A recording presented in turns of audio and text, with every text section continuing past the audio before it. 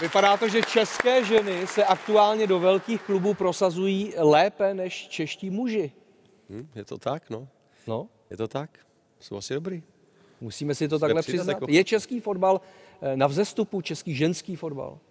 Já bych řekla, že je na sestupu. Eh, Musíme t- taky přihlídnout k tomu, kolik máme hráček teďka v zahraničí, to tam bylo teda všechno řečeno. Eh, druhá věc je to, že i ty mezinárodní úspěchy by měly pomáhat.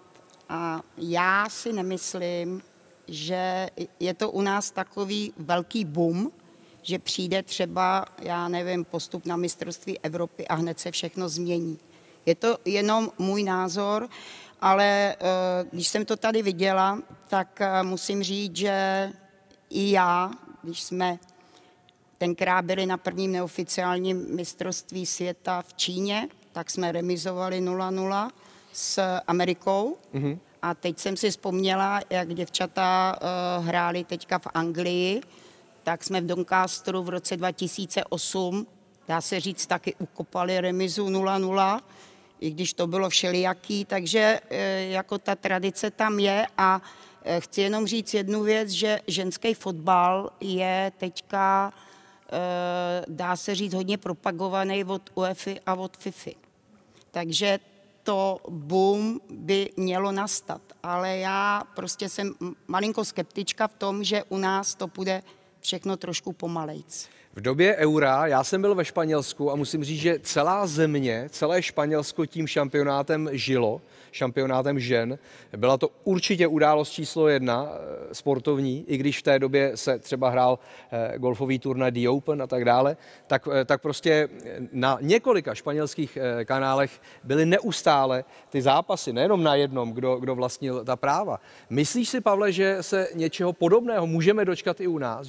Ten sport, který byl vždycky ryze mužský, tak už pochopitelně ovládly i ženy. Já se na to rád podívám, tam jsou pěkné holky, všechno, ale ten eh, samozřejmě s tím mužským fotbalem je to trochu neporovnatelný v rychlosti, v technice, já nevím, v síle, ve všech těchto možných Dobře, ale to je i tenis, věcech. to je i basket. Přesně tak, přesně tak. Ale eh, jako pochopitelně bych to přál fotbalu ženskému, ať, ať jde na vzestup, jako samozřejmě, ale Já bych nejsem si tomu úplně oponovala jistý, že to tady trošičku někdo... a to je ta věta, kterou já jsem řekla. Nesrovnávejme ty dva sporty. A nebo tak. Nesrovnávejme.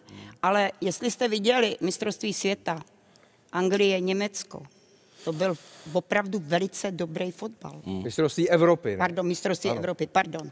Jo, viděli jste návštěvu, ta návštěva eh, podle mě byla i 90 tisíc lidí, když hrála Barcelona, Ano. ženy a tak dále, čili se to dostává do podvědomí, dá se říct, fanoušků a jako um, ta úroveň těch, eh, ať je, to, ať je to tady Anglie, tohle, tak opravdu se na to dá dívat. To jsou opravdu zápasy, zápasy, které jsou velice kvalitní.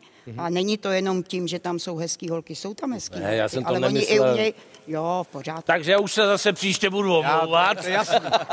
To je jasný.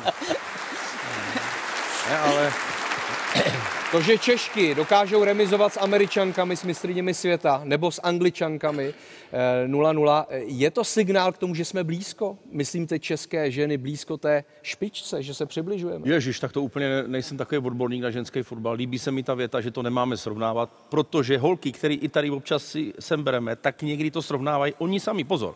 Chtěli by se vyrovnat eh, platům, slávě, stadiony a tak dále.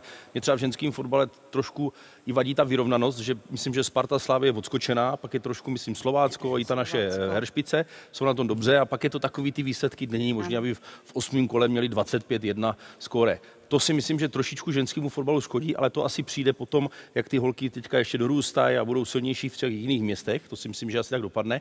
Ale nicméně ta věta se mně strašně líbí, aby jsme to nesrovnávali, to je super.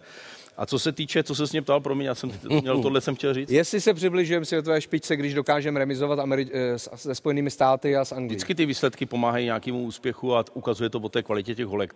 Já jsem teďka viděl ten zápas eh, s Anglií. Ano.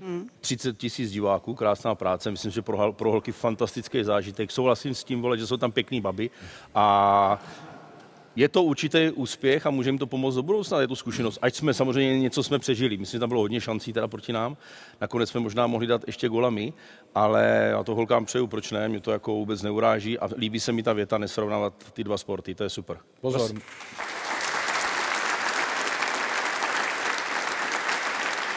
Vlastně už jenom to, že eh, je oslověj eh, prostě eh, Amerika, že osloví Anglie, že si je vyberou, tak už je vidět, že ta kvalita tam je. A já pořád vzpomínám na to, že my, když jsme jezdili na národní zápasy, tak jsme jezdili den předem, vůbec jsme neměli nějaký soustředění, dneska už jezdí týden. Hmm. Je tam 13 lidí realizačního týmu ve všech možných profesích a tak dále tak určitě, ale zase má pravdu tady švanci v tom, že ta naše liga není dostatečná k tomu, abychom Myslím, prostě škodí, no. vychovali, hmm. vychovali ty reprezentantky. A já jsem teďka, se mi dostalo uh, takový článek od uh, Daniela France, to je člověk, který dělá teďka, jezdí z reprezentací a dělá jim technika, že tam krásně o tom psal že byli v té Anglii a tam se k ním chovali jako k mistrům světa, že je brali výborný prostředí, kde trénovali, kde hráli a tak dále. Takže je vidět, že to jméno tam mhm. máme. A říkal, vašme si každý hráčky, která je.